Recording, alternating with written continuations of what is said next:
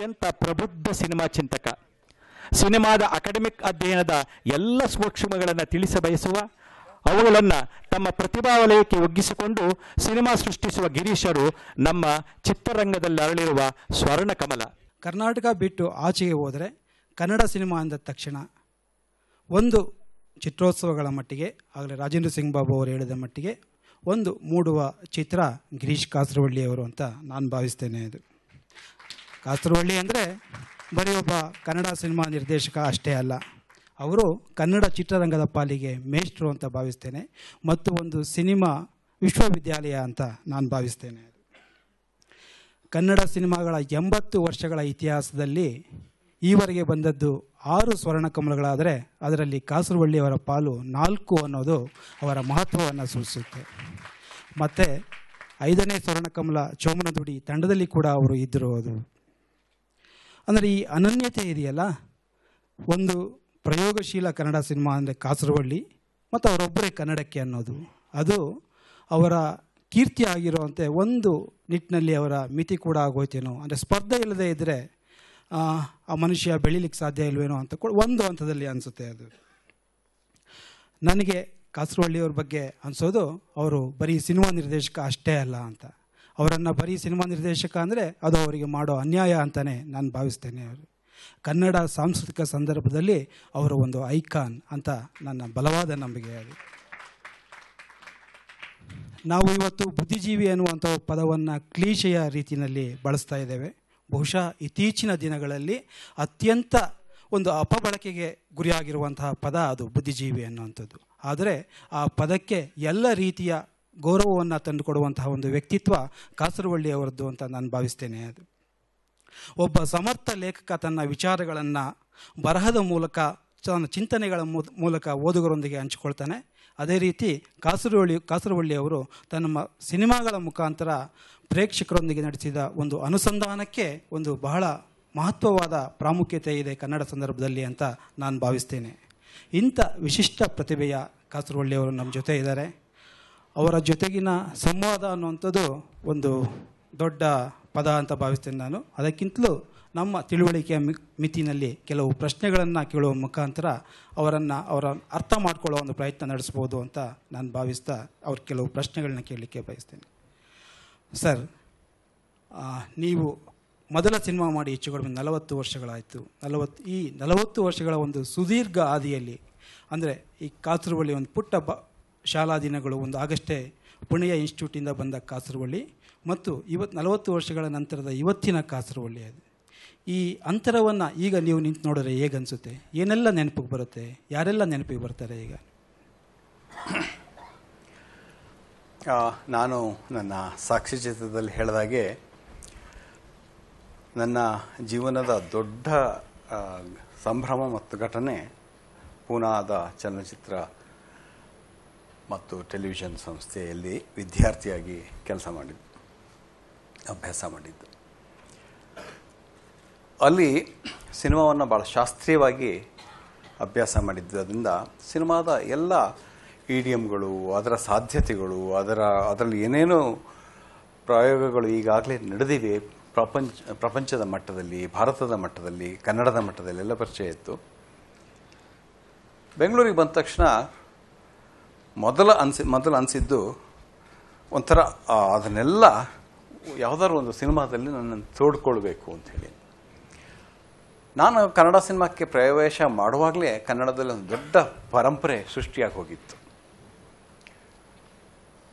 ಈ ಯಾವುದನ್ನು ನಾವು ಸಮಾಂತರ ಚಿತ್ರಗಳು ಅಂತ ಕರಿತೀವೋ, ಅಂಥ ಸಮಾಂತರ ಚಿತ್ರಗಳ ಧಾಟಿಯಲ್ಲೇ ಸುಮಾರು ಸಿನಿಮಾಗಳು, ಒಳ್ಳೆ ಸಿನಿಮಾಗಳು ಬಂದು ಹೋಗಿದ್ದು. ಸಂಸ್ಕಾರ, ಚೋಮನದುಡಿ, ಕಾಡು ನನಗೆ ಒಂದು ದೊಡ್ಡ ಚಾಲೆಂಜ್ ಏನಿತ್ತು ಅಂತಂದರೆ ಆ ಸಿನಿಮಾಗಳ ಒಂದು ಸಾಲಿಗೆ ನನ್ನದೊಂದು ಕಿರುಕಾಣಿಕೆ ಬೇಕು ಅಂತ ಹೇಳಿ ನಾನು ಚೌಮುಂದುಡಿ ಸಂಸ್ಕಾರ ಅಂತ ಅಷ್ಟೇ ಹೇಳ್ತೀನಿ ಅಂತಂದಾಗ ಅದರ ಅರ್ಥ ನಾನು ಬೇರೆ ಥರದ ಸಿನಿಮಾಗಳನ್ನು ಗುರುತಿಸಿರಲಿಲ್ಲ ಅಂತಲ್ಲ.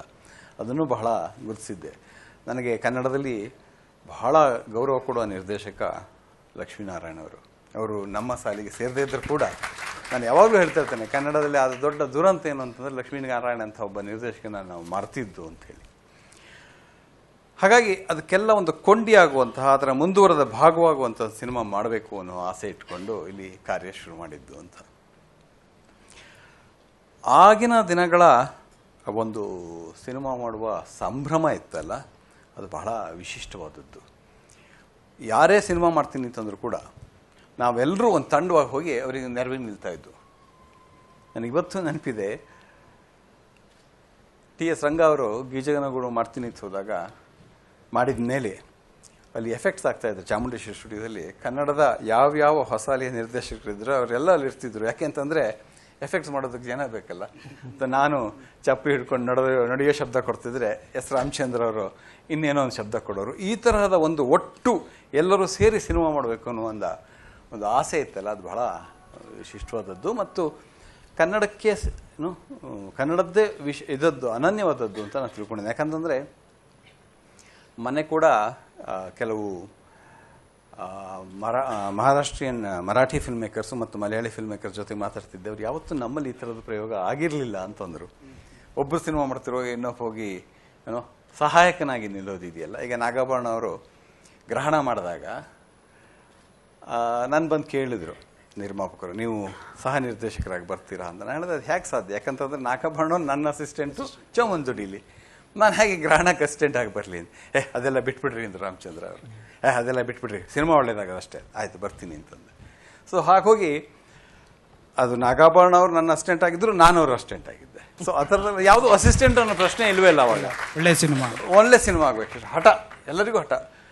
ಆ ಹಠ ಎಷ್ಟಿತ್ತು ಅಂತಂದರೆ ದುಡ್ಡು ಎಷ್ಟಿದೆ, ಬಡವಣ, ಬಂಡವಾಳ ಎಷ್ಟಿದೆ ಅಂತಲ್ಲ, ಕತೆ ಹೇಗಿದೆ ಮತ್ತು ಸ್ಕ್ರಿಪ್ಟ್ ಹೇಗಿದೆ ಅಂಥೇಳಿ ಎಸ್ ರಾಮಚಂದ್ರ ಇದ್ದರಂತೂ ಅವರ ಈ ಎಷ್ಟು ಎಷ್ಟು ದುಡ್ಡು ಕೊಟ್ಟಿರ್ತಾರೋ ಅಷ್ಟು ಆ ದುಡ್ಡೊಳಗೆ ಒಂದು ಸಿನಿಮಾ ಹೆಂಗೆ ಮಾಡೋಕ್ಕಾಗತ್ತೆ ಅನ್ನೋದು ಲೆಕ್ಕ ಹಾಕೋರು. ಎಲ್ಲೆಲ್ಲ ಕಾಸ್ಟ್ ಕಟ್ ಮಾಡ್ಬೋದು, ಊಟ ಊಟ ಬೇಡ ಬಿಡಿ ಬಿಡಿ ಬಿಡಿ.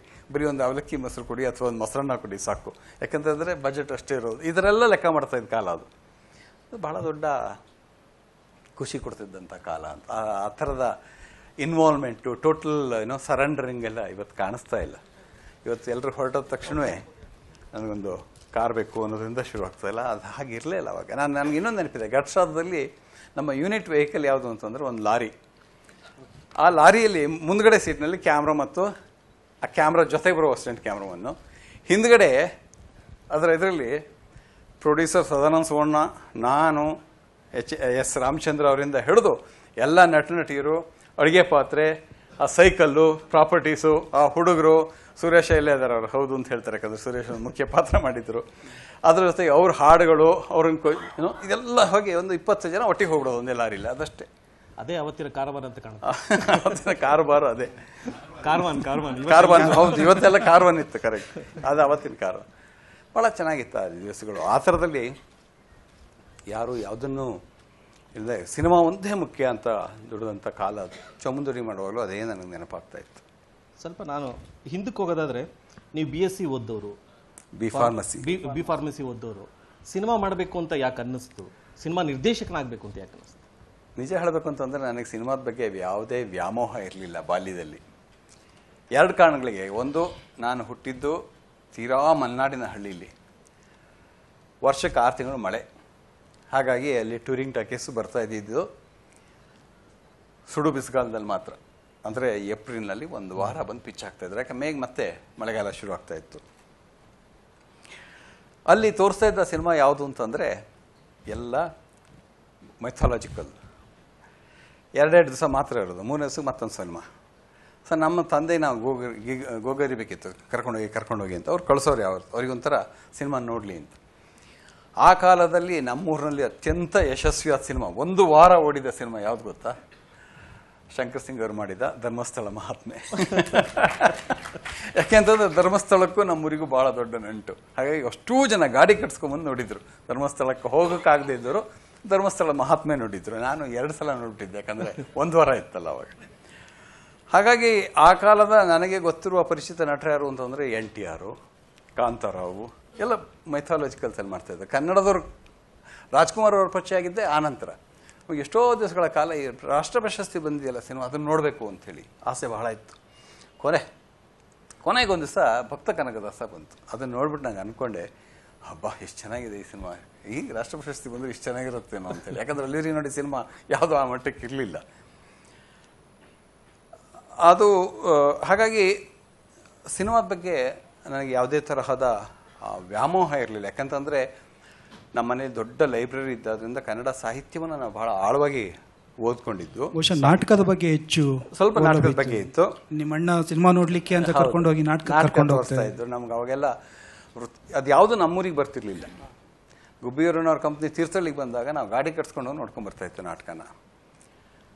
ಹಾಗಿರುವಾಗ ನಾವು ನಮ್ಮ ಮನೇಲೇ ತುಂಬ ಒಂದು ಹತ್ತು ಹನ್ನೆರಡು ಜನ ಸಿನಿಮಾ ನೋಡೋಕೆ ಹೋಗ್ತಿರೋದ್ರಿಂದ ಸಿನಿಮಾ ಕಂಪ್ನಿಯವರ ಇದು, ಟೂರಿಂಗ್ ಟಾಕೀಸ್ನವರು ಒಂದು ಪೋಸ್ಟರ್ ತಂದು ನಮ್ಮ ಮನೆ ಗೋಡೆಗೆ ಅಂಟಿಸೋಗ್ತಿದ್ರು ಯಾಕಂದ್ರೆ ಹನ್ನೆರಡು ಜನ ಬರ್ತಾರೆ ಅಂತ ಗ್ಯಾರಂಟಿ ಅವರಿಗೆ. ಅವ ತಂದೆ, ತಾಯಿ ನಾವು ಅಣ್ಣ, ತಮ್ಮಂದರು ಕೆಲಸವರು ಆಳುಗಳು ಎಲ್ಲ ಕಟ್ಕೊಂಡು ಎರಡು ಮೂರು ಗಾಡಿ ಕಟ್ಕೊಂಡು ಹೋಗ್ತಾ ಇದ್ದು ಆದರೆ ನನಗೆ ಸ್ವಲ್ಪ ಬುದ್ಧಿ ಬಂದ ಮೇಲಿಂದ ನಾನು ಓದಿದ ಕಾದಂಬರಿಗಳೇನಿದೆ, ಶಿವರಾಮ್ ಕಾರಂತದ್ದು ಮತ್ತು ಕುವೆಂಪು ಅವರ ಕಾದಂಬರಿಗಳು. ಅದರ ಜೊತೆಗೆ ಹೋಲಿಸಿದ್ರೆ ನಾನು ನೋಡ್ತಿರೋ ಸಿನಿಮಾ ಇದೆಯಲ್ಲ, ಅದಕ್ಕೂ ಅದಕ್ಕೂ ಹೊಂದಾಣಿಕೆ ಆಗ್ತಿರಲಿಲ್ಲ. ಇವು ಎಂಥ ಒಳ್ಳೆ ಕಲಾಕೃತಿಗಳು ಸಿನಿಮಾಗಳು ಯಾಕೆ ಬರೀ ಮೈಥಾಲಜಿ ಮೈಥಾಲಜಿಕಲಿ ಮಾತ್ರ ಸೀಮಿತವಾಗಿ ಅಂಥೇಳಿ ಸಿನಿಮಾಕ್ಕೆ ಆ ಶಕ್ತಿ ಇಲ್ಲ ಅಂಥೇಳಿ ನಿರ್ಧಾರ ಮಾಡಿ ಸುಮ್ಮನಾಗ್ಬಿಟ್ಟಿದ್ದೆ ಆಮೇಲೆ ಕೆ ವಿ ಸುಬ್ಬಣ್ಣವರು ಒಂದು ಫಿಲ್ಮ್ ಅಪ್ರಿಸಿಯೇಷನ್ ಕೋರ್ಸಿಗೆ ಪುನಃ ಹೋಗಿ ಸೇರಿಕೊಂಡಾಗ ನಮ್ಗೆ ಭಾಳ ಆಶ್ಚರ್ಯ. ಯಾಕಂದರೆ ನಮ್ಮ ಇಡೀ ಕುಟುಂಬದಲ್ಲೇ ಅತ್ಯಂತ ದೊಡ್ಡ ಇಂಟೆಲೆಕ್ಚುಯಲ್ ಅಂತ ಕನ್ಸಿಡರ್ ಮಾಡ್ತಿದ್ದ ಕೆ ವಿ ಸುಬ್ಬಣ್ಣವರು ಪದ್ಯ ಬರೆಯೋದು ಬಿಟ್ಟು ನಾಟಕ ಮಾಡಿಸೋದು ಬಿಟ್ಟು ಎಲ್ಲ ಹೋಗಿ ಸಿನಿಮಾಕ್ಕೆ ಹೋಗಿ ಸೇರ್ಕೊಂಡ್ಬಿಟ್ಟಿದಾರಲ್ಲ, ಏನಿದು ಸೋಜಿಗ ಅಂತ ನಾನು ಒಂದ್ಸಲ ವೆಕೇಷನಿಗೆ ಹೋದಾಗ ಕೇಳಿದೆ, ಏನು ಎಲ್ಲ ಬಿಟ್ಟು ನೀವು ಸಿನಿಮಾಕ್ಕೆ ಹೋಗಿ ಸೇರಿದಿರಲ್ಲ? ಸಿನಿಮಾ ಬಹಳ ಮುಖ್ಯವಾದ ಆಟ ಕಣೆ ಇವತ್ತಿನ, ದೊಡ್ಡ ಕಲೆ ಸಿನಿಮಾ ಅಂಥೇಳಿ ಒಂದು ಎರಡು ಮೂರು ಪುಸ್ತಕ ಓದಕ್ಕೆ ಕೊಟ್ಟರು ಅದರ ಒಂದು ಬರ್ನೋ ಕೃಷ್ಣಸ್ವಾಮಿ, ಅದು ಇಂಡಿಯನ್ ಸಿನಿಮಾದ ಇವತ್ತು ನೆನಪಿದೆ. ನನಗೆ ಆವಾಗ ಪೂರ್ಣವಾಗಿ ಆ ಪುಸ್ತಕಗಳು ಅರ್ಥವಾಗದೇ ಇದ್ದರೂ ಕೂಡ ಹಾಗಾದ್ರೆ ಸಿನಿಮಾದಲ್ಲಿ ಏನೋ ಇದೆ ಅಂಥೇಳಿ ಅನ್ನಿಸ್ತು. ಆನಂತರ ಕನ್ನಡದಲ್ಲಿ ಆ ದೊಡ್ಡ ಬೆಳವಣಿಗೆ ಏನಿದೆ? ಅರವತ್ತರ ದಶಕದಲ್ಲಿ ನೀವು ಯಾವುದೇ ಗಂಭೀರವಾದ ಮ್ಯಾಗ್ಝಿನ್ ತೆಗೆದರೂ ಕೂಡ ನವ್ಯ ಸಾಹಿತ್ಯದ ಪ್ರಮುಖ ಲೇಖಕರೊಬ್ಬರ ಸಂದರ್ಶನ ಇರೋದು ಬಹಳ ದೀರ್ಘವಾದ ಸಂದರ್ಶನ. ಹಾಗೆ ನೀವು ಜನ ಇದಕ್ಕೆ ಬಂದರೆ, ಸಿನಿಮಾ ಪುಟಗಳಿಗೆ ಬಂದರೆ, ಆಗ ಒಂದು ಕನ್ನಡದಲ್ಲಿ ಆಗಷ್ಟೇ ಒಂದು ಹೊಸ ರೀತಿಯ ಸಿನಿಮಾಗಳು ಶುರುವಾಗಿದ್ದು. ಲಕ್ಷ್ಮೀನಾರಾಯಣ ನಾನು ಯಾವತ್ತೂ ಕನ್ನಡದಲ್ಲಿ ಹೊಸ ರೀತಿಯ ಸಿನಿಮಾ ಅಂತಂದಾಗ ಸಂಸ್ಕಾರದಿಂದ ಆರಂಭ ಅಂತ ಹೇಳ್ತಾರೆ. ನಾನು ಕನ್ನಡದ ಹೊಸ ಅಲೆಯ ಸಿನಿಮಾಕ್ಕೆ ನಾಂದಿ ಹಾಡಿದ್ದೆ ನಾಂದಿ ಅಂತ ಹೇಳೋದು. ಲಕ್ಷ್ಮೀನಾರಾಯಣ ಅವರ ಕಾಂಟ್ರಿಬ್ಯೂಷನ್ ಭಾಳ ಇದೆ. ಸೊ ಅದನ್ನೆಲ್ಲ ನೋಡಿದಾಗ ಅದನ್ನೆಲ್ಲ ನೋಡ್ತಾ ಇದ್ದೆ ಓದ್ತಾ ಇದ್ದೆ. ಅವಾಗ ಸಿನಿಮಾದ ಬಗ್ಗೆ ಸ್ವಲ್ಪ ಕುತೂಹಲ ಹುಟ್ಟಿತು ಆಮೇಲೆ ನಾನು ಫಾರ್ಮಸಿ ಓದಿದಾಗ ಫಾರ್ಮಸಿ ಮುಗಿಸ್ಕೊಂಡು ನಾನು ಐಡಿ ಐ ಡಿ ಪಿಲಿಗೆ ಹೋದೆ ಹೈದರಾಬಾದ್ನಲ್ಲಿ. ಅಲ್ಲಿ ನನಗೆ ರೇ ಅವರ ಸಿನಿಮಾ ಮೃಣಾಲ್ ಸೇನ್ ಅವರ ಭುವನ್ ಶಿವಮು, ಸಾರಾ ಆಕಾಶ್, ಬಾಸು ಚಟರ್ಜಿ ಇದೆಲ್ಲ ನೋಡೋಕೆ ಸಿಕ್ಕಾಗ, ಓ, ಸಿನಿಮಾ ಭಾಳ ಚೆನ್ನಾಗಿರುತ್ತೆ, ಹೀಗಿರುತ್ತಾ ಅಂಥೇಳಿ.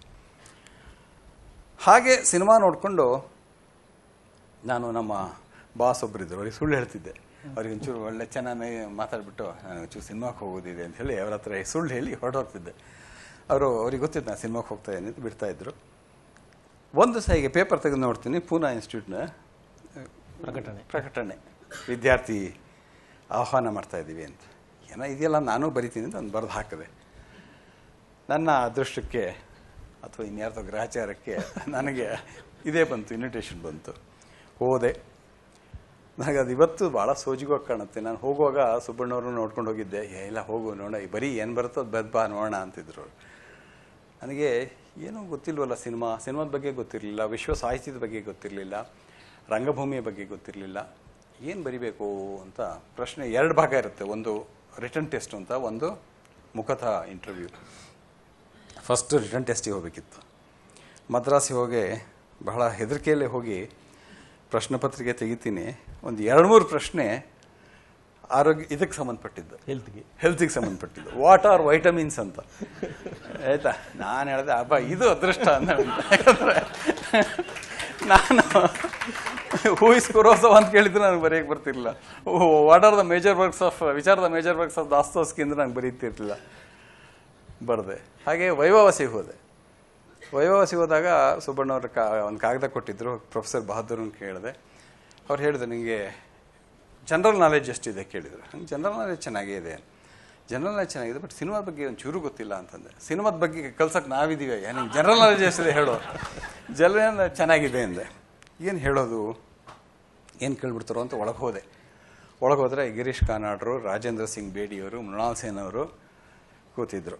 ಇನ್ನೊಬ್ರು ಯಾರೋ, ನಾಲ್ಕು ಜನ, ಜಗತ್ ಮುರಾರಿ ಇರಬೇಕು ಫಸ್ಟ್ ಪ್ರಶ್ನೆನೇ ಮೃಣಾಲ್ ಸೇನ್ ಅವರು have you seen Bhuvan Shome ಅಂತ ಕೇಳಿದರು. ಅವ್ರದ್ದು ಸಿನಿಮಾ. ನಾನು ಆಗಷ್ಟೇ ನೋಡ್ಕೊಂಡು ಹೋಗಿದ್ದೆ ಹೈದರಾಬಾದ್ನಲ್ಲಿ. Yes I have seen it what you think of it bad film ಅಂದ್ಬಿಟ್ಟು. Why why you think it is a bad film ಇಲ್ಲ ಕಂಟಿನ್ಯೂಟಿ ಎಲ್ಲ ಹಾಗೆ ಹೇಗೆ ಅಂತ ನನಗೆ ಗೊತ್ತಿದ್ದು ಏನೋ ಹೊಡೆದ್ಬಿಟ್ಟೆ what do you mean by continuity ಅಂತ ಕೇಳಿದ್ರು? ಅವಾಗ ನಂಗೆ ಗೊತ್ತಾಯ್ತು, ನಾನು ಸಿಕ್ಕಾಕೊಂಡೆ ಅಂತ. ಗೊತ್ತಿರಲಿಲ್ಲ. ಆಮೇಲೆ ಏನೋ ತೇಲ್ಸೋಳ್ದೆ, ಇಲ್ಲಿಲ್ಲ.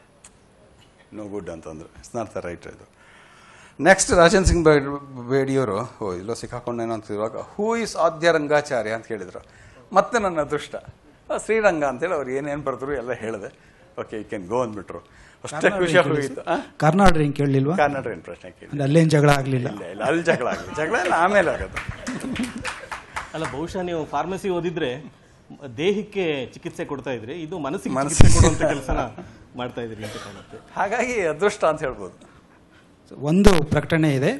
ಸಭಿಕರು ಕೂಡ ಅವರ ಪ್ರಶ್ನೆಗಳನ್ನು ಕಳಿಸ್ಬೋದು. ಅಂದರೆ ಚೀಟಿ ಮುಖಾಂತರ ಕಳಿಸಿದ್ರೆ ಹೆಚ್ಚು ಅನುಕೂಲ ಆಗುತ್ತೆ. ಆ ಪ್ರಶ್ನೆಗಳನ್ನು ಇಲ್ಲಿ ಸೇರಿಸ್ಕೊಳ್ಳಿಕ್ಕೆ ಅನುಕೂಲ ಆಗುತ್ತೆ ಅಂತ ನಿಮ್ಮ ಗಮನಕ್ಕೆ ತರಲಿಕ್ಕೆ ಬಯಸ್ತೇನೆ. ಆಮೇಲೆ ಗಿರೀಶ್ ಅಂದ್ರೆ ನಾವೆಲ್ಲ ತುಂಬ ಗಂಭೀರವಾದವರು ಅಂತ. ನಾವು ತುಂಬ ದೂರದಿಂದ ನೋಡಿದಾಗ ಅವ್ರನ್ನ ಮಾತಾಡ್ಸೋದು ಯಾಕಪ್ಪ? ಯಾವ ರೀತಿ ಅವ್ರನ್ನ ಅಪ್ರೋಚ್ ಮಾಡೋದು ಅನ್ನೋದೇ ತುಂಬ ಕಷ್ಟ ಆಗೋದು. ಆಮೇಲೆ ತುಂಬ ಅವರ ಹತ್ರಕ್ಕೆ ಹೋಗ್ತಾ ಹೋಗ್ತಾ ತುಂಬ ವಿಟ್ಟಿಯಾಗಿ ಇಷ್ಟೊತ್ತು ನೋಡಿದ್ರಿ ಎಷ್ಟು ನಗುವಂಥ ಪ್ರಸಂಗಗಳು ಬಂದವು ಅಂತ. ಒಂದ್ಸರಿ ಯಾವಾಗಲೂ ನೀವೇ ಹೇಳಿದ್ರಿ, ರಾತ್ರಿ ನೀವು ಬಸ್ನಲ್ಲಿ ಹೋಗಬೇಕಾದ್ರೆ ನೀವು ನಂಬಲ್ಲ ಗೊತ್ತು, ಮೂಢನಂಬಿಕೆಯನ್ನು ನಂಬಲ್ಲ ಅಂತ ಜ್ಯೋತಿಷಿನೂ ನಂಬಲ್ಲ ಅಂತ. ಒಬ್ಬ ಜ್ಯೋತಿಷಿ ನಿಮ್ಮ ಮುಖ ನೋಡಿ ಏನೋ ಹೇಳಿದ್ದ ಅಂತ. ನೆನ್ಸ್ಕೋಬೋದು ಅದನ್ನ? ನಾನು ಐ ಡಿ ಪಿ ಅಲ್ಲಿ ಕೆಲಸ ಇದು ಟ್ರೈನಿಂಗ್ ಮುಗಿಸ್ಕೊಂಡು ವಾಪಸ್ ಬರ್ತಾ ಇದ್ದೆ. ಕೆರೆಯಲ್ಲಿ ಅವಾಗ ಬೆಂಗಳೂರು ಶಿವಮೊಗ್ಗ ಬಸ್ ಅರ್ಸಿಕೆರೆ ನಿಲ್ಲಿಸೋದು. ಈಗೆಲ್ಲ ತಿಪ್ಟೂರಲ್ಲಿ ನಿಲ್ಲಿಸ್ತಾರೆ. ಅರ್ಸಿಕೆರೆ ನಿಲ್ಸ ನಾನು ಜೋರು ನಿದ್ರೆ. ಯಾರೋ ಬಂದು ಅಲಗಾಡಿಸ್ದಂಗೆ ಆಯಿತು ಯಾರು ಕಂಡುಬಿಟ್ರು ಅದು ಮುದುಕ. ಸರ್ ನಿಮ್ಮ ನಕ್ಷತ್ರ ಏನು? ನಿಮ್ಮ ಸರ್ ರಾಶಿ ಏನು ಅಂತ. ನನಗೆ ನನ್ನ ನಕ್ಷತ್ರ ಗೊತ್ತಿಲ್ಲ. ನಾನೊಬ್ಬ ನಕ್ಷತ್ರಿಕ ಅನ್ನೋದು ಗೊತ್ತೇ ಹೊರತು ನನ್ನ ನಕ್ಷತ್ರ ಅನ್ನೋದು ಗೊತ್ತಿಲ್ಲ. ರಾಶಿ ನಂಗೆ ಭತ್ತದ ರಾಶಿ, ಅಡಿಕೆ ರಾಶಿ ಎಲ್ಲ ಗೊತ್ತು. ಯಾಕಂದ್ರೆ ನಾವು ಅಡಿಕೆ ಬೆಳೆಗಾರರು. ಏನೋ ನೆನೆಸ್ಕೊಂಡು ನನ್ನ ರಾಶಿ ನಕ್ಷತ್ರ ಎಲ್ಲ ಹೇಳಿದೆ. ಪುಣ್ಯಕದ ನೆನಪಾಯ್ತು ಆಗ ಕೂತಿರಿ ಅಂತ ಹೇಳ್ದ. ಮತ್ತೆ ನಾನು ಮಲಗಕ್ಕೆ ಹೊರಟೆ. ಅವನು ಇಳ್ಕೊಂಡು ಹೋದ. ಇನ್ನು ಮುದ್ಕ ಬಂದು ನಾನು ಗಲಾಟೆ ಮಾಡ್ತಾನೆ ಅಂತ ಹೇಳಿಬಿಟ್ಟು ಬೇಗ ಬೇಗ ಹೋಗಿ ಹಿಂದ್ಗಡೆ ಒಂದು ಸೀಟಿಗೆ ಹೋಗಿ ಕೂತ್ಕೊಂಡೆ. ಮತ್ತೆ ನಿದ್ರೆ ಮಾಡೋಕ್ಕೆ ಶುರು ಮಾಡಿದೆ. ಸ್ವಲ್ಪ ಆದಮೇಲೆ ಮತ್ತೆ ಯಾರೋ ಯಾರು ಯಾರೇ ಅವ್ರು ಸಿಂಹರಾಶಿಯವರು? ಓಯ್ ನನ್ನ ಮರ್ಯಾದೆ ಎಲ್ಲರೂ ಇದ್ರ ಹೋಗುತ್ತೆ ಅಂತ ಹೇಳಿ, ನಾನೇ ಮಾರ ಬನ್ನಿ ಬನ್ನಿ, ಇಲ್ಲಿ ಬನ್ನಿ, ಅಂತ. ಏನು ಕೇಳಿದೆ.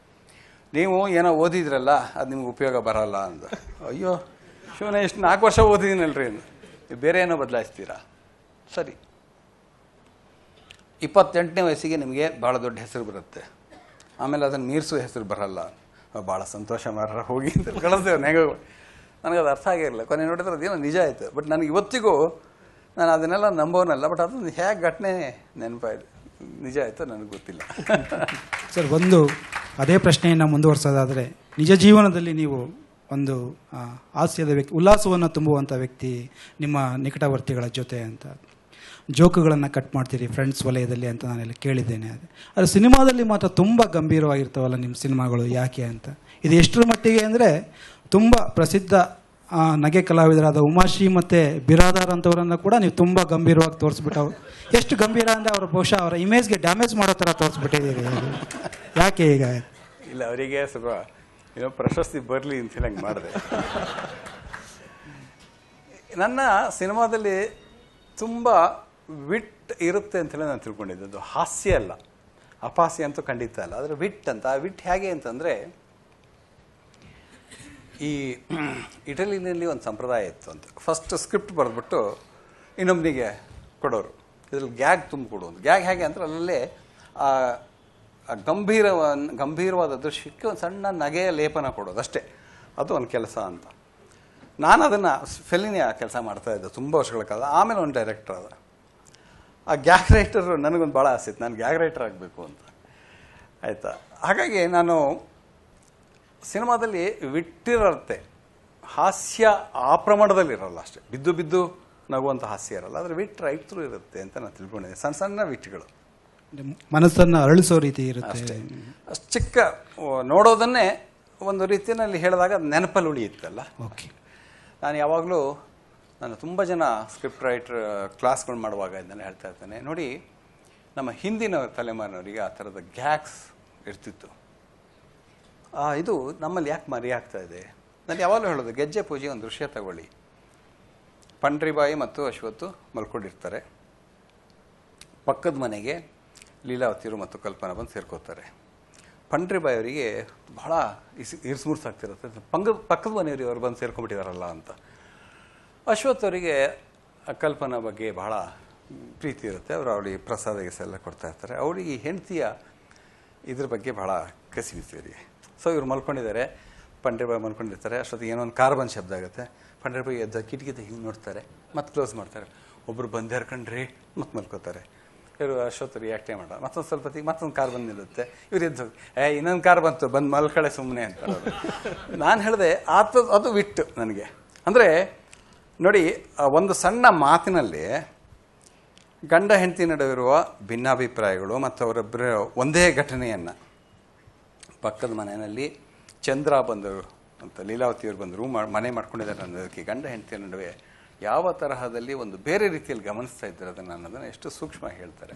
ಅದು ಬಿಟ್ಟಿಗೆ ಬಿಟ್ಟು ಆಯಿತು ಕ್ಯಾರೆಕ್ಟರ್ ಸ್ಕೆಚಿಂಗ್ ಕ್ಯಾರೆಕ್ಟರ್ ಸ್ಕೆಚ್ಚು ಆಯಿತು. ಈ ತರಹ ಮಲ್ಟಿ ಲೇಯರ್ಡಾಗಿ ನಮ್ಮಲ್ಲಿ ಯಾಕೆ ದೃಶ್ಯ ಕಟ್ಟಲ್ಲ ಅನ್ನೋದು ನನಗೆ ಬಹಳ ಸಮಸ್ಯೆ ಇದೆ. ಆ ಥರದಲ್ಲಿ ನಾನು ಲಕ್ಷ್ಮೀನಾರಾಯಣ ಅವರ ಇದರಲ್ಲಿ ಬಹಳ ಉದಾಹರಣೆಗಳನ್ನು ಕೊಡ್ಬೋದು, ಎಷ್ಟೋ ಉದಾಹರಣೆಗಳನ್ನು ಕೊಡ್ಬೋದು. ನಾಂದಿಲ್ಲಿ ಒಂದು ಒಳ್ಳೆಯ ಉದಾಹರಣೆ ಇದೆ. ಪಕ್ಕದ ಮನೆಯವರು, ಬಾಲಕೃಷ್ಣ ಮತ್ತು ಅವ್ರ ಹೆಂಡತಿ. ಅವ್ರು ಬಂದಾಗೆಲ್ಲ ಏನೋ ಒಂದು ಒಳ್ಳೆ ಮಾತು ಹೇಳಿ ಹಿಂಗೆ ತೆಗೆದು ಹಿಂದಕ್ಕೆ ಕೊಡೋದು ಇದು ತಗೊಳ್ಳೋದು ಬೊಕೆ ಇದು ಬಹುಮಾನ ಕೊಟ್ಟರು ಇದು ಏನೋ ಏನಂತಾರದಕ್ಕೆ ಪ್ರೆಸೆಂಟೇಷನ್ ತೆಗೆದು ಹಿಂಗೆ ಕೊಡೋದು. ಸೊ ಮಾತಾಡ್ತಾ ಮಾತಾಡ್ತಾ ಹಿಂಗೆ ಕೊಡ್ತಾ ಇರ್ತಾರೆ, ಹೆಂಡತಿ ತಗೋತಾರೆ. ಆಮೇಲೆ ಹೆಸರು ಹೆಂಡತಿ ತಗೊಳ್ಳೋ ತಗೋತಾರೆ, ಹಿಂದಕ್ಕೆ ಹಿಂಗೆ ಹಾಕ್ತಿರ್ತಾರೆ. ಅದು ಬಡ ಬಡ ಅಂತ ಬೀಳ್ತಿರುತ್ತೆ ಸೊ ಇದು ಎಷ್ಟು ವಿಷಯಗಳನ್ನು ಹೇಳುತ್ತೆ. ಒಂದು ಸಣ್ಣ ಗೆಸ್ಚರ್ ಇದೆಯಲ್ಲ, ಆ ಥರದ ಗೆಸ್ಚರ್ಗಳ ಮೂಲಕ, ಆ ಥರ ಸಣ್ಣ ಸಣ್ಣ ಗ್ಯಾಗ್ಸ್ ಮೂಲಕ ನಮ್ಮ ಇರುವಿಕೆಯ ಬಗ್ಗೆ, ನಮ್ಮ ಅಸ್ತಿತ್ವದ ಬಗ್ಗೆ ಒಂದು ಹೊಸ ಎತ್ತರಕ್ಕೆ ಕೊಂಡೊಯ್ತಲ್ಲ, ಅದು ಯಾಕೆ ಬರ್ತಾ ಇಲ್ಲ ಇತ್ತೀಚಿನ ಸಿನಿಮಾಗಳಲ್ಲಿ ನನಗೆ ಗೊತ್ತಿಲ್ಲ. ಈ ಥರದ್ದು ನೀವು ಯಾವುದೇ ಗ್ರೇಟ್ ಮಾಸ್ಟರ್ಸ್ ನೋಡಿದರೆ, ಎಸ್ಪೆಷಲಿ ಸತ್ಯಜಿತ್ ಇರೋ ಸಿನಿಮಾದಲ್ಲಿ ಈ ಥರ ತುಂಬ ಇರುತ್ತೆ. ನನಗದು ಅಥವಾ ನಮ್ಮ ಸಾಹಿತ್ಯದಲ್ಲಿ ಬಹಳ ಶಿವರಾಮ್ ಕಾರಂತರ ಬರಹ ನೀವು ಓದಿದರೆ ಅವರ ಎಲ್ಲ ಕಾದಂಬರಿಗಳು ಈ ಥರ ಸಿಕ್ಕಾಪಟ್ಟೆ ಸಣ್ಣ ಸಣ್ಣ ಸಣ್ಣ ಡೀಟೇಲ್ಗಳಿರುತ್ತೆ ಕುವೆಂಪು ಅವರ ಕಾದಂಬರಿ ಕಾದಂಬರಿಗಳಲ್ಲಿ. ಸರ್ ಇದು ಕಥೆಯ ಗಾಂಭೀರ್ಯದ ಬಗ್ಗೆನೇ ಸ್ವಲ್ಪ ಮುಂದುವರಿಸೋದಾದರೆ ಬಹುಶಃ ಇದು ನಿಮ್ಮ ಸಿನಿಮಾಗಳಷ್ಟೇ ಅಲ್ಲ ಇಡೀ ಕನ್ನಡದ ಪ್ರಯೋಗಶೀಲ ಸಿನಿಮಾಗಳು ಕಲಾತ್ಮಕ ಸಿನಿಮಾಗಳು ಅಂತ ಏನು ಕರಿತೇವೆ ಈ ಎಲ್ಲ ಸಿನಿಮಾಗಳು ಒಂದಲ್ಲ ಒಂದು ಸಮಸ್ಯೆಯನ್ನು ಮೈ ಮೇಲೆ ಎಳ್ಕೊಂಡು ಪ್ರೇಕ್ಷಕರನ್ನು ತಲುಪಲಿಕ್ಕೆ ಒಂದು ಸ್ವಲ್ಪ ಕಷ್ಟ ಪ್ರೇಕ್ಷಕರು ಡೈಜೆಸ್ಟ್ ಮಾಡ್ಕೊಳ್ಳಿಕ್ಕೆ ಅಂತ ಒಂದು ಆರೋಪ ಇದೆ ಇದು. ಅಂದರೆ ಈ ಬದುಕಿನ ಚೆಲುವನ್ನು ಹೇಳಲಿಕ್ಕೆ ಈ ಕಲಾತ್ಮಕ ಸಿನಿಮಾಗಳು ಯಾಕೆ ಪ್ರಯತ್ನಿಸ್ತಾ ಇಲ್ಲ ಅಂತ ಈ ಪ್ರಶ್ನೆ ಶೇಷಾದ್ರಿ ಅವರು ಕೂಡ ಉತ್ತರಿಸ್ಬೋದು ಇದಕ್ಕೆ ಶೇಷಾದ್ರಿ ಅವರು ಮಾತ್ರ ನಮ್ಮ ಈ ಥರ ಸಿನಿಮಾ ಯಾರು ಮಾಡ್ತಾರೆ ಅವ್ರು ಎಲ್ಲರ ಪರವಾಗೂ ನಾನು ಉತ್ತರ ಹೇಳಬಲ್ಲೆ. ಅದೇನಂತಂದರೆ ಬದುಕಿನ ಚೆಲುವು ಅಂತಂದರೆ ಮೈ ಮರೆಸುವ ವಿಷಯಗಳಲ್ಲಿ ಮಾತ್ರ ಇಲ್ಲ. ಮೈ ಮನಸ್ಸನ್ನು ಎಚ್ಚರಿಸೋದ್ರಲ್ಲೂ ಚೆಲುವಿದೆ. ಯಾವುದು ಎಂಟರ್ಟೈನ್ಮೆಂಟ್ ನಾನು ಇದನ್ನು ಮತ್ತೆ ಮತ್ತೆ ಕೋಟ್ ಮಾಡಿದ್ದೀನಿ. ಅಪರವಯಸ್ಕನ ವಯಸ್ಕನ ಅಮೆರಿಕ ಯಾತ್ರೆಯಲ್ಲಿ ನಮ್ಮ ಮೂರ್ತಿರಾರು ಒಂದು ಘಟನೆಯನ್ನು ಹೇಳ್ತಾರೆ. ಯಾರು ಒಂದು ಕೇಸ್ ನಡೀತಾ ಇರುತ್ತೆ ಯಾಕೆ ನೀನು ಅವನನ್ನು ಕೊಂದೆಯಪ್ಪ ಅಂತಂದರೆ ಅದು ನನ್ನ ಮನರಂಜನೆಗಾಗಿ ಅಂತನಂತೆ. ಸೊ ಮನರಂಜನೆಗಾಗಿ ಕೊಲ್ಲುವುದು ಕೂಡ ಒಂದು ಮನರಂಜನೆ ಕೊಲ್ಲುವುದು ಕೂಡ ಒಂದು ಮನರಂಜನೆಯೇ. ಆದರೆ ಅದು ನಿಜವಾದ ಮನರಂಜನೆಯೇ ನಾವು ಯಾವುದೋ ಶುದ್ಧ ಮನರಂಜನೆ ಅಂತೀವಲ್ಲ ಶುದ್ಧ ಮನೋರಂಜನೆ ಯಾವತ್ತೂ ಮನಸ್ಸನ್ನು ಅರಳಿಸುತ್ತೆ. ಮನಸ್ಸನ್ನು ಕೆರಳಿಸಲ್ಲ. ಕೆರಳಿಸೋದು ಬೇರೆ ಅರಳಿಸೋದು ಬೇರೆ. ನಮ್ಮಲ್ಲಿ ತುಂಬ ಜನ ನಾವು ಸಿನಿಮಾ ನೋಡ್ತು ನಾವು ಕೆರಳ್ತಾ ಇರ್ತೀವಿ ಮನಸ್ಸು. ಕೆರಳೋದು ಅಂದ ತಕ್ಷಣ ಉಗ್ರವಾಗೋದಷ್ಟೇ ಅಲ್ಲ. ವಿಕಾರ ಆಗುತ್ತೆ. ವಿಕಾರಗಳನ್ನು ಉನ್ಮಾದಿಸೋದು ಕೂಡ ಕೆರಳಿಸೋದೆ. ಹಾಗಾಗ್ತಾ ಇರುತ್ತೆ. ಮನಸ್ಸು ಅರಳಿಸೋದು. ನಾವು ಎಷ್ಟೋ ಸಲ ಒಂದು ಸಿನಿಮಾ ನೋಡಿ ಬಹಳ ಚೋಮಂದುಡಿ ನೋಡಿ ಚೌಮಸ್ ಹತ್ತೋದಾಗ ಡಿಸ್ಟರ್ಬ್ ಆದರೆ ನನ್ನ ದೃಷ್ಟಿಯಲ್ಲಿ ಅದು ಮನಸ್ಸನ್ನು ಅರಳಿಸೋದು. ಯಾಕೆ ಅಳಿಸೋದು ಅಂತ ಹೇಳ್ತೀನಿ ಅಂತಂದರೆ, ಚೋಮನಿಗೆ ಅನ್ಯಾಯ ಆಗಬಾರದಿತ್ತು ಅಂತ ನನಗೆ ಅನಿಸಿದರೆ, ನನಗೆ ಒಂಥರದ ಸೋಷಿಯಲ್ ಅವೇರ್ನೆಸ್ ಬರ್ತದೆ, ಒಂಥರದ ರೆಸ್ಪಾನ್ಸಿಬಿಲಿಟಿ ಬರುತ್ತೆ. ನಾನು ಕೂಡ ಚೋಮನಿಗೆ ಅನ್ಯಾಯ ಮಾಡೋದರಲ್ಲಿ ಒಬ್ಬ ಅನ್ನೋ ಒಂದು ಎಚ್ಚರ ಬರ್ತದಲ್ಲ? ನಮ್ಮೆಲ್ಲರ ಸಿನಿಮಾದಲ್ಲೂ ಅದಾಗತ್ತೆ. ಹಾಗಾಗಿ, ಈ ಮನರಂಜನೆ ಅನ್ನೋದನ್ನ ನಾನು ರೀಡಿಫೈನ್ ಮಾಡಿಕೊಂಡ್ರೆ ನಮಗೆ ಇದು ಅರ್ಥವಾಗುತ್ತೆ. ಯಾಕೆ ಅಂತ. ಆಮೇಲೆ ಎರಡನೇ ಪ್ರಶ್ನೆ ಹೇಳಿದ್ರಿ ಜನರನ್ನು ತಲುಪ್ತಾ ಇಲ್ಲ ಅನ್ನೋದ್ರ ಬಗ್ಗೆ ನನಗೆ ನನ್ನದೇ ಆದ ಆಕ್ಷೇಪಗಳಿವೆ. ಖಂಡಿತ ಈ ಸಿನಿಮಾಗಳು ತಲುಪ್ತಾ ಇವೆ. ಆದರೆ ತಲುಪುವುದಕ್ಕೆ ಮಧ್ಯೆ ಒಂದು ವಾಹನ ಬೇಕು. ವಾಹಕ ಬೇಕು. ವಾಹನವೂ ಇಲ್ಲ, ವಾಹಕವೂ ಇಲ್ಲದಂಥ ಒಂದು ನಿರ್ವಾತ ಸ್ಥಿತಿಯಲ್ಲಿ ನಾವಿದ್ದೀವಿ. ನಾವು ಸಿನಿಮಾ ಮಾಡ್ತೇವೆ. ಅಲ್ಲಿ ಪ್ರೇಕ್ಷಕರು ನೋಡೋದಕ್ಕೆ ಸಿದ್ಧರಿದ್ದಾರೆ.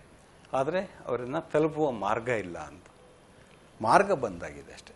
ಯಾಕಂದರೆ ನಾವು ನಮ್ಮ ಚಿತ್ರ ಸಮೂಹದ ವತಿಯಿಂದ ತುಂಬ ಕಡೆ ನಾವು ಹಳ್ಳಿ ಹಳ್ಳಿಯಲ್ಲಿ ನಮ್ಮ ಫೆಸ್ಟಿವಲ್ ಮಾಡಿದ್ದೀವಿ. ನಮ್ಮ ಎಲ್ಲ ಸಿನಿಮಾಗಳನ್ನು ಜನ ಮೆಚ್ಚಿದ್ದಾರೆ. ಲಿಂಗದೇವರವರೇ ಎಷ್ಟೋ ಕಡೆ ಫೆಸ್ಟಿವಲ್ಸ್ ಮಾಡಿದ್ದಾರೆ. ಅಂದರೆ ಅವರು ಸಿನಿಮಾ ನೋಡಿ ಇಷ್ಟಪಟ್ಟಿದ್ದಾರೆ ಅನ್ನೋದಂತೂ ಗ್ಯಾರಂಟಿ. ನಾನೇ ನನ್ನ ಸಿನಿಮಾಗಳನ್ನು ಬೇರೆ ಬೇರೆ ವೇದಿಕೆ ಮೇಲೆ ಮಾಡಿದ್ದೀನಿ. ಸುರೇಶ್ ಅವರು ಪ್ರಯೋಗ ಮಾಡಿದ್ದಾರೆ, ಲಿಂಗದೇವರು ಮಾಡಿದ್ದಾರೆ ಶೇಷಾದ್ರಿ ತೋರಿಸಿದ್ದಾರೆ. ನಮಗೆಲ್ಲೂ ನಿಮ್ಮ ಸಿನಿಮಾ ಅರ್ಥ ಆಗ್ತಿಲ್ಲ ಅಂತ ಎಲ್ಲೂ ಹೇಳಿಲ್ಲ. ರುಚಿಸಿಲ್ಲ ಅಂತಲೂ ಹೇಳಿಲ್ಲ. ನಮಗೆ ಇಂಥ ಸಿನಿಮಾ ನೋಡೋಕ್ಕೆ ಯಾವ ಅವಕಾಶ ಸಿಕ್ಕಲ್ಲ ಅನ್ನೋದು ನಾವು ಪ್ರತಿ ಸಲವೂ ಎದುರಿಸುವ ಒಂದು ಪ್ರಶ್ನೆ. ಸರ್, ನೀವು ಆಗಲಿಂದ ಮಾತಾಡ್ತಾ ಸತ್ಯಜಿತ್ ರೇ ಅವರು ಹೆಚ್ಚು ಬಾರಿ ಪ್ರಸ್ತಾಪ ಆದರು ನಿಮ್ಮ ಮಾತುಗಳಲ್ಲಿ. ನಾನು ಅವ್ರದ್ದೇ ಪ್ರಭಾವ ಅಂತ ಹೇಳಲ್ಲ. ಹೆಚ್ಚು ನಿಮಗೆ ಪ್ರಭಾವ ಬೀರಿದಂಥ ನಿರ್ದೇಶಕರು, ಜಾಗತಿಕ ಮಟ್ಟದಲ್ಲಿ ಯಾರಾದರೂ ನಿರ್ದೇಶಕರಿದ್ರೆ ಅವ್ರನ್ನ ನೆನಪಿಸ್ಕೋಬೋದಾ? ನಾನು ಯಾವುದೇ ಒಬ್ಬ ನಿರ್ದೇಶಕನಿಂದ ಇನ್ಸ್ಪೈರ್ ಆಗಿಲ್ಲ. ಇನ್ಫ್ಲೂಯೆನ್ಸ್ ಆಗಿಲ್ಲ ಇನ್ಸ್ಪೈರ್ ಆಗಿದ್ದೀನಿ. ಹಾಗಂತ ಹೇಳಿ ಯಾವುದೇ ನಾನು ಯಾರು ನಿಮ್ಮ ನೀವು ಬಹಳ ಮೆಚ್ಚುವ ನಿರ್ದೇಶಕ ಯಾರೋ ಕೇಳಿದ್ರೆ ನಾನು ಹೇಳ್ತೀನಿ ನಾನು ಯಾವ ನಿರ್ದೇಶಕನನ್ನು ಮೆಚ್ಚೋದಿಲ್ಲ. ಅವರ ಸಿನಿಮಾಗಳನ್ನು ಮೆಚ್ಚುತ್ತೇನೆ. ಅದರಲ್ಲಿ ವ್ಯತ್ಯಾಸ ಇದೆ. ನಾನೊಬ್ಬ ನಟನನ್ನು ಮೆಚ್ಚೋದಿಲ್ಲ ಆದರೆ ಅವನನ್ನು ಅಭಿನಯನ ಮೆಚ್ಚುತ್ತೇನೆ ಅಂತಂದಾಗ ಅವನ ಅಭಿನಯ ಚೆನ್ನಾಗಿದ್ದರೆ ಮಾತ್ರ ನಾನು ಅದನ್ನು ಮೆಚ್ಚುತ್ತೇನೆ. ನಾನು ನಟನನ್ನು ಮೆಚ್ಚುತ್ತೇನೆ ಅಂತಂದ್ರೆ ನಾನು ನಟ ಚೆನ್ನಾಗಿ ಮಾಡಲಿ ಚೆನ್ನಾಗಿ ಮಾಡದೇ ಇರಲಿ ಅವ್ನು ಕೆಟ್ಟ ಕೆಲಸ ಮಾಡಲಿ ಒಳ್ಳೆ ಕೆಲಸ ಮಾಡಲಿ ನಾನು ಅವ್ನು ಸಪೋರ್ಟೇ ಮಾಡಬೇಕಾಗತ್ತೆ. ಒಬ್ಬ ನಿರ್ದೇಶಕನ ನಾನು ಮೆಚ್ಚುತ್ತೀನಿ ಅಂತಂದಾಗ ಆ ನಿರ್ದೇಶಕ ಮಾಡುವ ಎಲ್ಲ ಸಿನಿಮಾಗಳನ್ನು ನಾನು ಮೆಚ್ಚಕ್ಕೆ ಸಾಧ್ಯ ಇದೆಯಾ? ನಾನು ಪತ್ತೇರ್ ಪಂಚಲಿ ಮೆಚ್ಚುತ್ತೇನೆ ಚಾರುಲತಾ ಮೆಚ್ಚುತ್ತೇನೆ ಅಂತ ಹೇಳಿ ಅಭಿಷಾನ್ ಮೆಚ್ಚಿ ಅಂತಂದ್ರೆ ನಾ ಇಲ್ಲಿಂದ ಮೆಚ್ಚಿ. ಆಗಲ್ಲ. ಬರಗ್ಮನನ್ನ ಎಷ್ಟೋ ಸಿನಿಮಾಗಳನ್ನು ನನಗೆ ಇಷ್ಟನೇ ಆಗೋದಿಲ್ಲ. ಕುರಸವನ ಹಿಡನ್ ಫೋರ್ಟ್ರೆಸ್ ನೀವು ಮೆಚ್ಚಿ ಅಂತಂದ್ರೆ ನನಗಂತೂ ಮೆಚ್ಚಕ್ಕೆ ಸಾಧ್ಯ ಆಗಲ್ಲ. ಹಾಗಾಗಿ ನಿರ್ದೇಶಕ ಇಲ್ಲ, ಬಟ್ ನಿರ್ ಸಿನಿಮಾಗಳಿವೆ ಅಂತ ನಾನು ಯಾವಾಗಲೂ ಹೇಳೋದು. ಹಾಗೆ ಸಾಹಿತ್ಯಗಳ ವಿಚಾರದಲ್ಲೂ ಸಾಹಿತ್ಯದ ವಿಚಾರ. ಇಲ್ಲ ಸರ್ ನಿಮ್ಮ ವಿಷಯದಲ್ಲಿ ನಮ್ಗೆ ಆ ರೀತಿ ದ್ವಂದ್ವನೇ ಇಲ್ಲ ಸರ್. ನಿರ್ದೇಶಕನಾಗಿನೇ ನಿಮ್ಮನ್ನು ಮೆಚ್ಚುತ್ತೇವೆ ನಾವು. ಅದು ದುರಂತ ಹಂಗೆ ಮಾಡಬೇಡಿ ಅಂತ ನಾನು ಹೇಳೋದು. ಸಿನಿಮಾಗಳಿಗಾಗಿ ಮೆಚ್ಚಿ. ಯಾಕಂದ್ರೆ ನಿರ್ದೇಶಕನಾಗಿ ಮೆಚ್ಚಕ್ಷ ಮಾಡಿದ್ರೆ ಅವನ ತಪ್ಪು ಕೆಲಸಗಳನ್ನು ಕೂಡ ನಾವು ಸಮರ್ಥಿಸ್ಕೊಳ್ಬೇಕಾಗತ್ತೆ. ಇಲ್ಲ ಹಾಗಾಗಬಾರ್ದು ಯಾವತ್ತೂ ಅವನನ್ನು ನನ್ನ ಸರೀಕನಾಗಿ ನಾನು ನೋಡಬೇಕು. ಅವ್ನು ತಪ್ಪು ಮಾಡಿದ ಅವ್ನು ತಪ್ಪು ಮಾಡುವ ತಪ್ಪು ಮಾಡ್ತಾ ಇದ್ದಾನೆ ಅಂತ ಹೇಳುವ ಧೈರ್ಯನ ಎದೆಗಾರಿಕೆ ಕೂಡ ಬೇಕು ಛಾತಿ ಬೇಕು. ಸರ್ ಒಂದು ನಿಮ್ಮ ಹದಿನಾಲ್ಕು ಚಿತ್ರಗಳು ಹದಿಮೂರು ಚಿತ್ರಗಳು ಅಂತ ಆಗಲೇ ಹೇಳಿದ್ರು. ಒಟ್ಟು ಹದಿನಾಲ್ಕು ಚಿತ್ರಗಳು ಇಲ್ಲಿವರೆಗೂ ಈ ನಲವತ್ತು ವರ್ಷಗಳಲ್ಲಿ ಬಂದಿರುವಂಥದ್ದು. ಹದಿನಾಲ್ಕು ಚಿತ್ರಗಳಲ್ಲಿ ಪ್ರಾಯಶಃ ಬಣ್ಣದ ವೇಷವನ್ನು ಹೊರತುಪಡಿಸಿದ್ರೆ ಉಳಿದೆಲ್ಲ ಚಿತ್ರಗಳು ಒಂದು ಸಣ್ಣ ಕಥೆಯನ್ನು ಅಥವಾ ಕನ್ನಡದ ಒಂದು ಕಾದಂಬರಿಯನ್ನು ಆಧರಿಸಿ ಮಾಡಿದಂತಹ ಚಿತ್ರಗಳು. ಈ ಬಣ್ಣದ ವೇಷ ಕೂಡ ಯಾವುದೋ ಒಂದು ವರದಿಯನ್ನು ಆಧರಿಸಿದ್ದು ಅಂತ ಹೇಳೋದ್ರಿಂದ ಅದು ಒಂದು ರೀತಿಯ ಸಾಹಿತ್ಯದ ಪಟ್ಟಿಗೆ ಬಾ- ಪ್ರಾಯಶಃ ಸೇರಿಕೊಳ್ಳುತ್ತೆ ಅಂತ ಅನ್ಸುತ್ತೆ. ಯಾವಾಗಲೂ ನಿಮಗೆ ಒಂದು ವಸ್ತು ಸಾಹಿತ್ಯ ಕೃತ್ ಸಾಹಿತ್ಯ ಕ್ಷೇತ್ರದಿಂದನೇ ಆಯ್ಕೆ ಮಾಡ್ಕೊಳ್ಳೋದಕ್ಕೆ ಏನು ಪ್ರೇರಣೆ? ಸುಲಭದ ಒಂದು ಸೋಮಾರಿತನ. ಕತೆ ಬರೀಬೇಕಲ್ಲ. ಇಲ್ಲ ಅದು ಕತೆ ರೆಡಿಯಾಗಿ ಅಲ್ಲ ಆದರೆ ಅದಕ್ಕೆ ನೀವು ಸಮ್ಮ ಆ ಪದ ಹೇಳಿದ್ರಿಂದ ಮುಂದುವರ್ಸೋದಾದರೆ ಆದ್ರೆ ಈಗ ಭೈರಪ್ಪನವ್ರ ನಾಯಿ ನೆರಳು ಆಗಿರಬಹುದು ಅಥವಾ ಕೂರ್ಮಾವತಾರ ಆಗಿರಬಹುದು ಯಾವುದೇ ಕೃತಿಯನ್ನ ತಗೊಂಡ್ರೆ ಹೆಚ್ಚಿನ ಸಂದರ್ಭಗಳಲ್ಲಿ ಅದರ ಶೀರ್ಷಿಕೆ ಇರುತ್ತೆ. ಇಡೀ ಕಥೆಯನ್ನ ಬೇರೆ ನೋಟದಲ್ಲಿ ನೀವು ನೋಡ್ತೀರಿ. ಆ ಕಾದಂಬರಿಗೂ ಅಥವಾ ಕಥಾವಸ್ತುಗೂ ನಿಮ್ಮ ಚಿತ್ರಕ್ಕೂ ತುಂಬ ಅಜಗಜಾಂತರವಾದ ವ್ಯತ್ಯಾಸ ಕಾಣುತ್ತೆ. ಅಲ್ಲೂ ಹೆಚ್ಚು ಬರೀಬೇಕಾಗುತ್ತೆ ನೀವು. ಒಂದು ಸಿನಿಮಾ ಮಾಡಿದ್ದೆ, ಒಂದು ಕಾದಂಬರಿ ಆಧರಿಸಿ. ಸಿನಿಮಾ ಮಾಡಿದ್ನ ಸಾಮಾನ್ಯವಾಗಿ ಆ ಲೇಖಕರನ್ನು ಕರೆದು ತೋರಿಸೋದು ನನ್ನ ವಾಡಿಕೆ. ಒಂದು ಗೌರವ. ಆ ಲೇಖಕರನ್ನು ಕರೆದೆ, ತೋರಿಸಿದೆ. ತುಂಬ ಚೆನ್ನಾಗಿ ಮಾಡಿದ್ದೀರ ಸಿನಿಮಾನ. ನಂದು ಟೈಟ್ಲ್ ಮಾತ್ರ ಇಟ್ಕೊಂಡಿದ್ದೀರ, ಪರವಾಗಿಲ್ಲ